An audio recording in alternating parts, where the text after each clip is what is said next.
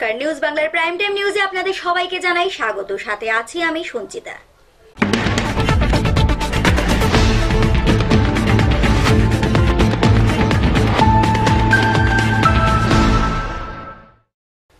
খবর এখন বিস্তারিত। রবিবার সকালে বিএমএস এর উদ্যোগে এবং বিদ্যুৎ বিভাগের কর্মীদের সহযোগিতায় ধর্মনগর বিদ্যুৎ বিভাগের অফিসে অনুষ্ঠিত হয় এক স্বচ্ছ ভারত অভিযান। এই স্বচ্ছ ভারত অভিযানকে ঘিরে বিদ্যুৎ বিভাগের কর্মীদের মধ্যে ব্যাপক উৎসাহ লক্ষ্য করা যায়। প্রধানমন্ত্রী নরেন্দ্র মোদী স্বচ্ছ ভারত অভিযানকে তৎকালীন রাজ্যের শাসক দল সিপিআইএম এটাকে রাজনৈতিক চমক বলে প্রচার করেছিল। তারা বলেছিল সেটা নাকি লোক দেখানো এবং ভোট আদায়ের একটা পদ্ধতি।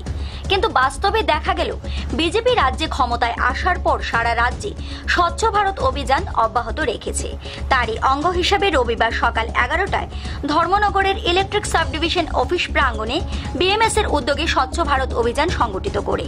এই স্বচ্ছ ভারত অভিযানে বিদ্যুৎ বিভাগের কর্মচারী বিকাশ ভৌমিক বলেন, নরেন্দ্র মোদীর এই স্বচ্ছ ভারত অভিযানকে স্বাগত জানান তিনি এবং তিনি বলেন, এই অভিযানের মধ্য দিয়ে প্রতিটা মানুষ তার চরিত্রকেও পরিষ্কার করতে পারবে। বিদ্যুৎ বিভাগের দুজন পদস্থ অফিসার রাজা গোস্বামী এবং শঙ্কর গুপ্ত উপস্থিত থেকে এই স্বচ্ছ ভারত অভিযানের নেতৃত্ব দেন। সাথে ছিল বিএমএস এর কর্মীরাও।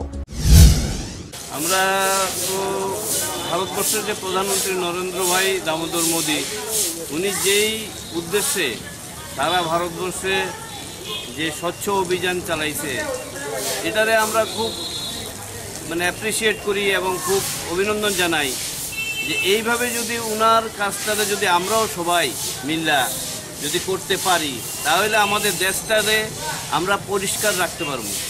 এই পরিষ্কারের মধ্যে দিয়েই আমরা মনে করি আমাদের প্রতিটা মানুষের তার চারিত্রিক বৈশিষ্ট্যটাও পাল্টাইয়া দিতে পারব এবং সেও আজকে ক্লিন হয়ে যাব এবং পরিষ্কার যদি হয় তার মনটা, তাহলে তার পরিবার, পরিজন, দেশ হ্যাঁ রাজ্য সব কিছুতেই একটা পরিবর্তন আসবে। এবং তখন আমাদের ভারতবর্ষটা, আমাদের যে প্রিয় প্রধানমন্ত্রী যেই উদ্দেশ্যটা, সেই উদ্দেশ্যটা আমরা সাকসেস করতে পারব। তবে যেদিন থেকে নরেন্দ্র ভাই মোদী দামোদর ভাই মোদী যেদিন থেকে শুরু করছিলেন সেদিন থেকেই আমরাও এই কাজটা শুরু করছি। তবে আজকে একটু আমরা আড়ম্বরের সাথে- এই কাজটা আমরা করতেছি পুরো রাজ্যব্যাপী চলছে নাকি শুধু না রাজ্যব্যাপী না আমরা এই বিদ্যুৎ বিভাগের সাব ডিভিশন ওয়ান এবং সাব ডিভিশন টু এই দুইজন এই দুইটা সাব ডিভিশনের কর্মচারীরা এবং আমাদের যে স্যার রাজা এক নম্বর সাব ডিভিশনের রাজা ভট্টা, রাজা ভট্টাচার্য মহাশয় এবং দুই নম্বর সাব ডিভিশনের যে স্যার শঙ্কর গুপ্ত মহাশয়, আমাদেরকে অনেক ইন্সপায়ার করছে আমাদের অনেক উৎসাহ দিছে এবং আজকে ওনারা ওনাদের উৎসাহে আমরা আজকে সবাই ঐক্যবদ্ধ হয়ে এই কাজটা করতে পারছি। সঙ্গে বিএমএস ইউ আমাদেরকে এই কাজটা করার জন্য আমাদেরকে খুবই উৎসাহ দেখাইছে। যেই কারণে আজকে আমরা খুব অল্প সময়ের মধ্যে সারা অফিসটা আমরা পরিষ্কার করে নিতে পারি পরিচয়টা? আমার পরিচয় আমার নাম বিকাশ ভৌমিক আমি ত্রিপুরা রাজ্য বিদ্যুৎ নিগমের একজন কর্মচারী। নিজস্ব প্রতিনিধি রিপোর্ট নিউজ বাংলা। জীবন সায়ান্নে শান্তির প্রান্তিক বৃদ্ধাশ্রমে রবিবার এক আনন্দ ঘন পরিবেশের মধ্য দিয়ে বৃদ্ধাদের উদ্দেশ্যে চাল ডাল সহ অন্যান্য সামগ্রী বিতরণ করা হয়। এই অনুষ্ঠানের উদ্যোক্তা ছিল সামাজিক সংস্থা সমাজ শক্তি সোসাইটি। উপস্থিত ছিলেন সভানেত্রী তনুজা বিশ্বাস সহ অন্যান্যরা। উত্তর জেলার অশীতিপর বৃদ্ধাদের সাহায্যে একমাত্র শান্তির নীর সমাজসেবী সংস্থা, সংঘদ্বীপ নির্মিত ও পরিচালিত প্রান্তিক বৃদ্ধাশ্রম। সতেরো নয় দু হাজার বারো ইং প্রাক্তন মুখ্যমন্ত্রী মানিক সরকারের হাত ধরে এই প্রান্তিক বৃদ্ধাশ্রমের পথ চলা শুরু হয়েছিল। সেই সময় সংঘদ্বীপের সম্পাদক ছিলেন উত্তম চৌধুরী। মধ্য দেওয়ানপাশা গ্রামে এই বৃদ্ধাশ্রমটি অবস্থিত। এই বৃদ্ধাশ্রমে বর্তমানে সতেরো জন বৃদ্ধা রয়েছেন। বৃদ্ধাদের অনুরোধে সংঘদ্বীপ কর্তৃপক্ষ দু হাজার পনেরো সালের একুশে জানুয়ারি বৃদ্ধাশ্রম সংলগ্ন স্থানে একটি লক্ষ্মীনারায়ণ মন্দির স্থাপন করেন। আগরতলা রামকৃষ্ণ মঠ ও মিশনের অধ্যক্ষ শ্রীমৎ স্বামী হিতকামানন্দজি মহারাজ মন্দিরের শুভ উদ্বোধন করেন। রবিবার সমাজ শক্তি সোসাইটি নামে একটি সামাজিক সংস্থা বৃদ্ধাশ্রমের বৃদ্ধাদের সেবাকল্পে এগিয়ে আসে। এদিন তারা নিজেদের মধ্য থেকে চাঁদা তুলে আশ্রমের বৃদ্ধাদের হাতে চাল, ডাল ইত্যাদি সামগ্রী তুলে দেন। সেই সাথে আশ্রমে এক আনন্দঘন পরিবেশের মধ্যে সাংস্কৃতিক অনুষ্ঠান ও খিচুড়ি প্রসাদ বিতরণ অনুষ্ঠিত হয়। সামাজিক সংস্থা সমাজ শক্তি সোসাইটির পক্ষে উপস্থিত ছিলেন সভাপতি অনুজা বিশ্বাস, শুক্লা সাহা, মনীষা সাহা রায়, রীনা সিনহা প্রমুখরা। সভাপতি অনুজা বিশ্বাস জানান তারা সমগ্র ত্রিপুরা রাজ্যে এরকম কাজ করে আসছেন এবং ভবিষ্যতেও তা জারি থাকবে। আমি সমাজ শক্তি সোসাইটির প্রেসিডেন্ট। আজকে এই অনুষ্ঠানটা কিসের আপনাদের? কি উদ্যোগ কারা কাদের উদ্যোগে এই অনুষ্ঠানটা হচ্ছে? সমাজ শক্তি সোসাইটির উদ্যোগে হচ্ছে তবে এটার সম্পূর্ণ যা ক্রেডিট আমি আমার সহযোগী শ্রীমতী রীনা সিনহা যিনি লোকালি এখানকার দায়িত্বটা নিয়ে এখানকার লোকাল লোকজনদের কাছ থেকে উনি চাঁদা সংগ্রহ করেছেন এবং এখানে বৃদ্ধা মায়েরা থাকেন এবং কিছু শিশুরাও থাকেন থাকে। তো ওনাদের জন্য একটা ছোট্ট কোয়ান্টিটির একটা রেশন আমরা প্রোভাইড করতে পেরেছি আর কি। এটা কি পুরো রাজ্যভিত্তিক হচ্ছে না শুধু উত্তর জেলায় প্রথম করেছেন না আমরা এর আগেও এ রাজ্যের অন্য অংশ কাজ করেছি। যেমন আগরতলাতে একটা বৃদ্ধাশ্রম আছে বরজলাতে। আপন ঘর। ওখানেও আমরা অনুষ্ঠান এরকম করেছি। ওখানে সম্পূর্ণ উদ্যোগটা নিয়েছিলেন আমার সহযোগী শ্রীমতী শুক্লা সাহা। ওনার উদ্যোগে ওখানেও এরকমই আমরা রেশন প্রোভাইড করতে পেরেছি। আগামী দিনে কি এ ধরনের উদ্যোগ রয়েছে আপনাদের আরও করার? নিঃসন্দেহে আমরা চাই ধরুন মানুষের তো বিভিন্ন ধরনের সমস্যা থাকে আর আমরা মেয়েরা নিত্যদিনের কাজ বা আমাদের প্রফেশনাল কাজের পরে যেটুকু সময় পাই তো এটাকে পজিটিভলি ইউজ করে যদি মানুষের পাশে দাঁড়ানো যায়। সো আমার মনে হয় সেটা একটা আলাদা আমাদের জন্য গুরুত্ব রাখে। তো এটা নিয়ে আর এই বৃদ্ধাশ্রমে এখন পর্যন্ত মোট কতজন রয়েছেন মায়েরা? আমার কাছে যতটুকু এখান থেকে খবর নেওয়া ওনারা বললেন যে পনেরো জন আছে। আর নয়জন শিশু আছে। আজ কতজন আপনাদের এই সাহায্যের হাত বাড়িয়ে দিয়েছে? আমাদের এখানকার লোকাল লোকাল যারা রেসিডেন্ট আছেন আমরা তেরো জনের কাছ থেকে সহায়তা পেয়েছি এবং সবচেয়ে বড় ব্যাপার হলো, এখান এখানে যে যারা গৃহিণী, ওনাদের প্রত্যেক দিনের নিত্য খরচে চালানোর পর, ওনাদের সংসারের খরচের পর যেটুকু বাঁচাতে পেরেছেন, যে যার সাধ্যমতো এখানে ওনাদের কন্ট্রিবিউশন দিয়েছেন। আমি সত্যি এটা জন্য আপ্লুত এবং আমি ধন্যবাদ জানাই ওনাদের সবাইকে এবং যারা এছাড়াও করেছেন সবাইকে ধন্যবাদ জানাই। এদিকে আশ্রমে অবস্থানরত বৃদ্ধাদের সঙ্গে কথা বললে উনারা জানান যে আশ্রমে উনাদের কোনো সমস্যা হচ্ছে না। আশ্রম কর্তৃপক্ষ তাদের চিকিৎসার ব্যাপারে যত্নশীল। আপনি কত বছর থেকে আছেন এখানে? কত বছর থেকে আছেন? কোনো অসুবিধা হয় এখানে থাকতে? সংস্থার তরফ থেকে সব ধরনের সহযোগিতা পান? অঞ্জলি চক্রবর্তী। কত বছর থেকে আছেন এখানে? ছয় বছর ছয় বছর বলতে আপনার বাড়িটা কোথায়? তো কোনো অসুবিধা হয় এখানে থাকতে আপনার না কোনো অসুবিধা হয় আপনারা কতজন আছেন এখানে এই আশ্রমে? আপনার বয়সটা কত হইব? বাষট্টি। কত বছর থেকে আছেন আপনি? তিন বছর কোনো অসুবিধা হয় না এখানে থাকতে? কি? বয়স কত আপনার? সত্তর। সত্তর। কত বছর হয়েছে আপনি এখানে আছেন?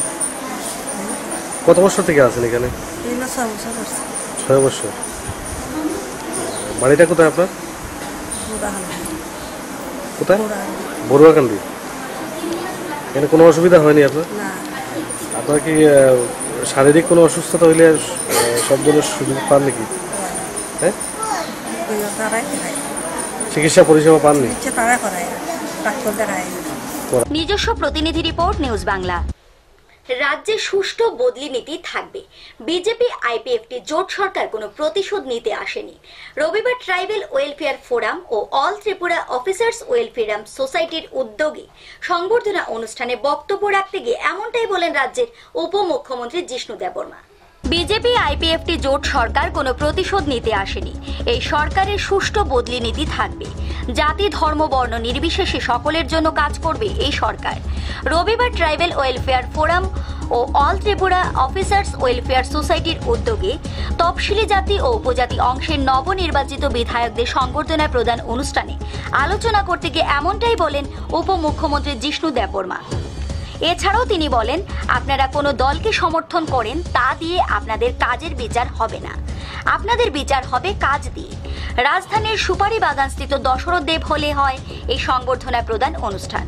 অনুষ্ঠানে তফসিলি জাতীয় ও উপজাতি অংশের নবনির্বাচিত বিধায়কদের ফুলের তোড়া ও উত্তরীয় দিয়ে সংবর্ধনা জ্ঞাপন করা হয়। এই অনুষ্ঠানে Tripura tribal officers welfare forum ও অল ত্রিপুরা অফিসার্স ওয়েলফেয়ার সোসাইটির সদস্য সদস্যদের উপস্থিতি ছিল লক্ষণীয়। আমাদের সরকার কোনো প্রতিশোধ নেওয়ার জন্য আসেনি। ধর্ম ধর্ম, বর্ণ, জাত নির্বিশেষে আমরা সবার জন্য কাজ করব। আর বিশেষ করে যারা পিছিয়ে পড়ে আছে, মানুষদের সেবা আমরা করতে চাই। আর অফিসারদের কাছে এখানে অনেক পদস্থ অফিসাররা আছেন, আমি জানি। আমার এই আবেদন থাকবে আপনারা কোনদিনও ভাববেন না যে আপনারা কোন রঙকে সাপোর্ট করেন কাকে সাপোর্ট করেন কাকে সমর্থন দেয় এ দিয়ে কাজের বিচার হবে। কাজের বিচার হবে কাজ দিয়ে। We are for a transparent government, a government that with efficiency.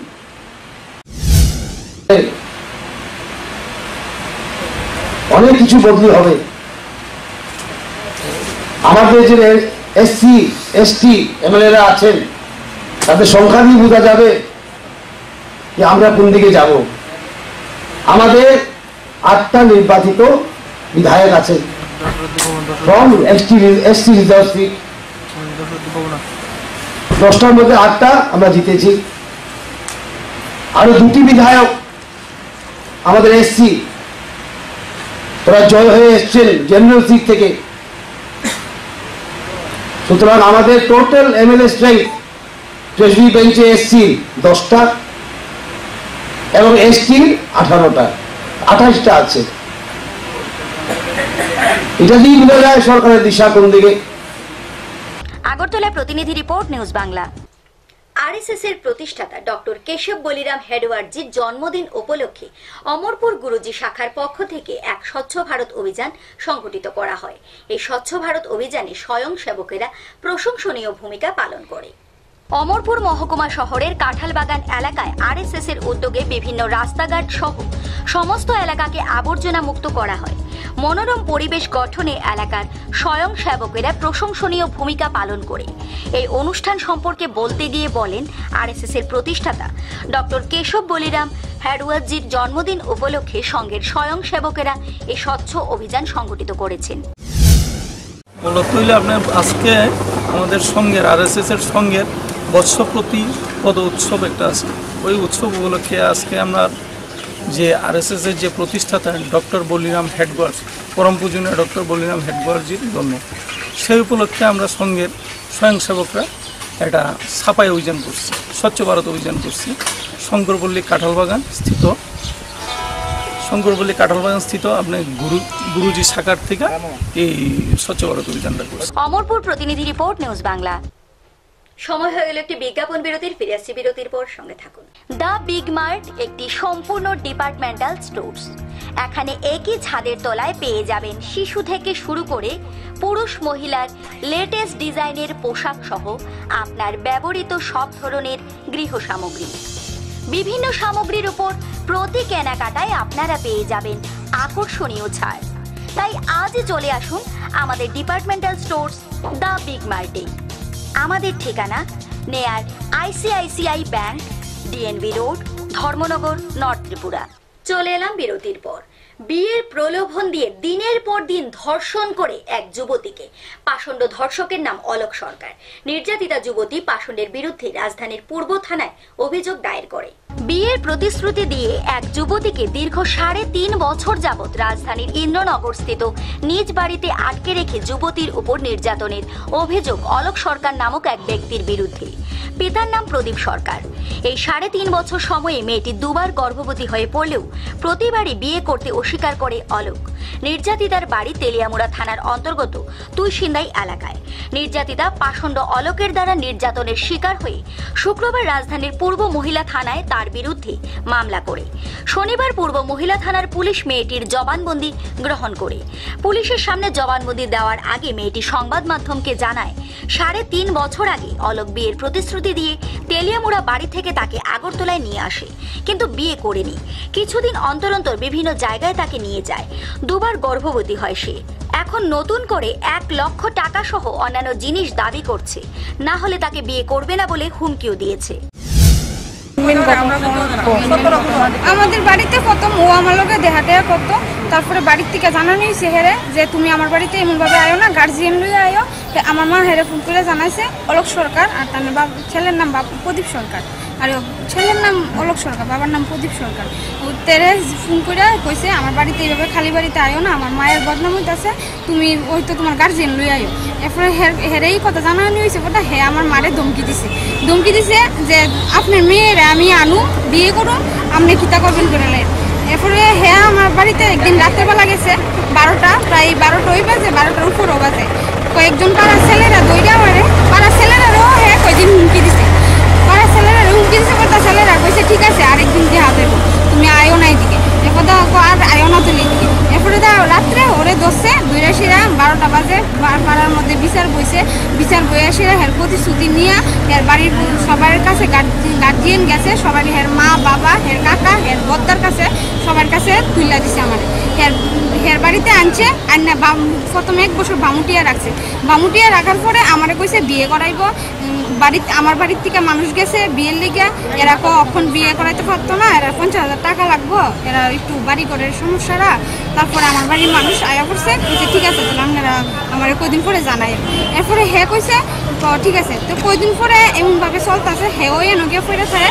তো আমার একটা দুর্ঘটনা ঘটে জায়গায় প্রেগনেন্ট হয়ে যায় একবার। তারপরে এই প্রেগনেন্টের মধ্যে জড়িত হের বাবা চেক করছে। এই আমার চেক করে সেরা হের বাবা চেক করে হের বড়ি এনে দিছে। বড়ি এনে ট্যাবলেট এনে হের মা রাতে ওখানে কি কইছে এখন সে বিয়ে করতো না। আমার এক লাখ টাকা লাগবো। যাব হের মা কয় যাবতীয় জিনিস দিয়ে বাড়ি থেকে দিয়ে দিতে হইব। আপনি আপনি কি মানে আপনি কি চান? হের মা কো আমারে নাকি হের লগে কীভাবে সংসার করি দীক্ষা দিব। আমার বিয়ে কেমনে ও দীক্ষা দিব। না আপনি কি চান? আমি ওর সঙ্গে থাকতে পারতাম না কারণ আমারে ও মারা লাগবে। আমি কোনো সময় থাকতাম না। আমারে কো আমারে মারলে করলে আমি চিৎকার করি। করলে কো তোর তোর কোন বাবা আছে? তুই লইয়া। আমার কোনো কিছু কথা আর আপনি কি ওর বিরুদ্ধে কেস দিবে? হ্যাঁ আমি ওর বিরুদ্ধে ওর বাড়িটা বাড়িটা কোনখানে ওর? ইন্দ্রনগর কালীবাড়ি। আর আপনার বাড়ি? মাস্টার দা সূর্য সেন ক্লাব ক্লাবের সঙ্গে। ছেলে ছেলের বাড়ি। আর আপনার বাড়ি কোনখানে। আপনার নামটা কি? সুপর্ণা দাস। অ্যাকচুয়ালি মেয়ে আর এখন ওই ছেলেরে বিয়ে করতে চাইতেছে না। তো আমরাও মেয়ের এগেনস্টে যাইতাম না। মেয়ে যেটা চায় মেয়ের সাপোর্টে আমরা আছি। সাড়ে তিন বছর ধরে একটা মেয়ে একটা বাড়িতে নির্যাতিত। দুই, দুইবার প্রেগনেন্ট হয়েছে, বাচ্চা নষ্ট করছে। তারপরে মেয়ের মা, মেয়ের ছেলের মা কালকে এইখানে পুলিশ স্টেশনে আয়া যে সমস্ত কথাবার্তা কইছে, কোনো অ্যাঙ্গেলে আমরা পাইছি না। তাহলে যে তাহলে যে এই মেয়েরে নিয়ে ছেলের বউ বানাইয়া যায়, একটা মেয়ের আদর বা বউর আদর দিয়ে যে সারাটা জীবন রাখব আমরা তাহলে কোনো অ্যাঙ্গেলে এমন পাইছি না। বরং তাহলে হয়ে গেছে যে মেয়ে কেমনি ছেলের ভাত খায় তাহলে দেখা দিব। ছেলেরে দিয়ে খাওয়া বিষ খাওয়াইব ছেলের মা বিষ খাইব আর মেয়েরে দিয়ে দেবো শ্বশুরের লোকে থাকতো। অশ্লীল গালি গালা ছেলে কালকে এখানে দাঁড়ায় কয় আইন হেও জানে। আজকে যদি সিপিএম আইতো এই মেয়েরা রাস্তা ফলায় হ্যাঁ টুকরা টুকরা করল ওপেন এখানে। আমরা মহিলা মোর্চা দীক্ষা হ্যাঁ আমরা মহিলা মোর্চারে দীক্ষা দিব। তো আমরা কি ভরসা এই মেয়েটারে দিব? কোনো গ্যারান্টি নেই। এর মধ্যে এই থানার যারা কাছে আমরা কমপ্লেন করছি তারা বলছে যদি মেয়ের কিছু হয় এটা লিগে তারা দায়ী না। এটা থেকে তারা কিছু দাঁড়ায় না। এখন আমরা মেয়ের যা কর আমরা তাই আমরা কেস করছেন হ্যাঁ। কালকে একটা এফআইআর লিখছি। আজকে মেয়ের বয়ান রেকর্ড ছেলে কি করে? কিছু করে না। এমনকি ছেলে কইতেছে অন্য দিক দিয়ে হ্যাঁ সম্পর্ক আছে এরে কইতেছে। বাড়িতে টর্চারিং হয়েছে মারধর করছে, বকাবকি করছে। শেষ পর্যন্ত আমার গেটের দরজা বন্ধ আছিল, আমি পূজা দিতেছি এমন সময়। হ্যাঁ আত্মরক্ষা, নিজের বাঁচানোর লেগে বলে দৌড়ায় আমার বাড়িতে আইছে। আইসে গেটের গেছে, মাসি মাসি দরজা খুলো। তা আমি কই, "এটা তো একটু শর্ট দেখা যাইতেছে না। আর দরজা খুলো। এরপরে দরজা খুললে দেখে যে হ্যাঁ। আমি কি হয়েছে গো? মাসি, আমারে বাঁচাও। আমার তো তারা মেরা লেগেছে আমি কি করতাম? আমি তো আর পারতাছি না। আমি কই, তাহলে তুমি ঘরে বউ? হ্যাঁ যখন আমার ঘরে বসে তখন আমি ডা- মহিলারা ডাক টাক দিছি, সবাই একখানে মিলিত হয়েছে তো এই ফ্যামিলিটা আসলে যথেষ্টপূর্ণ খারাপ। এই দুইটা ফ্যামিলি আছে তারার বাড়ির ভিতরে প্রদীপ সরকার, দিলীপ সরকার। এরা মানে ছেলে বাবা, ছেলে মিলা, পাঁচ সাতজন আছে।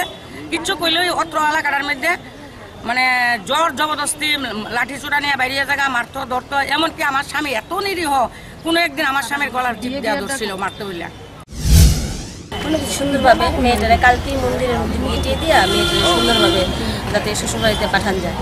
তো যখন ওই ছেলের বাবা টাকা দিছে যে শাখা সিঁদুর মালা আমরা কিনা লইয়েছি এটি দেখা ছেলের মা পুরা উন্মাদ হয়ে গেছে এখান থেকে ধমকাতে ধমকাতে রাস্তায় গেছে কীভাবে সংসার করে দেখা দিবে? অবস্থায় প্রেগনেন্সি যে ছেলেটা এখন তার সঙ্গে এঙ্গেজড ওই প্রেগনেন্সি অবস্থায় তার বেলতলি ক্লাবের মধ্যে ধইরা তারা দুজনে তার শ্বশুর শাশুড়িরে মানে বিয়ে করাই দিছে। এই ধরনের ঘটনা। এছাড়া আরও অনেক ঘটনা আছে কি কমু মানে কোয়ার মতো না ভাষায়। বোনের আগরতলা প্রতিনিধি রিপোর্ট নিউজ বাংলা। ইভিএম ছেড়ে ভেলেটে ভোট ফেরাতে সমস্যা নেই বিজেপির বললেন রাম মাধব। বিরোধীদের চাপের মুখে পড়ে অবশেষে মানতে রাজি হল বিজেপি পরিচালিত কেন্দ্রীয় সরকার। সবাই সহমত হলে ফের বেলেটে ভোট গ্রহণ চালু করা যেতেই পারে। বিরোধী দলগুলির ইভিএমে কারসাজির লাগাতার অভিযোগের মধ্যে এমনটাই জানালেন বিজেপির সাধারণ সম্পাদক রাম মাধব। শনিবার নির্বাচন কমিশনের কাছে ইভিএম এর পরিবর্তে ফের বেলেট চালুর আবেদন জানায় কংগ্রেস। এরপরই এ নিয়ে মুখ খুলেন রাম মাধব। তিনি বলেন, কংগ্রেস এখন ব্যালট ফেরানোর কথা বলছে। কিন্তু এই কংগ্রেসই ব্যালট তুলে ইভিএম চালু করেছিল। তবে সেই সিদ্ধান্ত হয়েছিল সর্বসম্মতিক্রমে। এখন যদি আবার সমস্ত রাজনৈতিক দল ব্যালট ফেরানোর পক্ষে সওয়াল করে আলোচনা করে তা বিবেচনা করা যেতে পারে। গতকালই প্লেনারি অধিবেশনে ইভিএম এর বদলে ব্যালট ব্যবহারের প্রস্তাব গ্রহণ করেছে কংগ্রেস।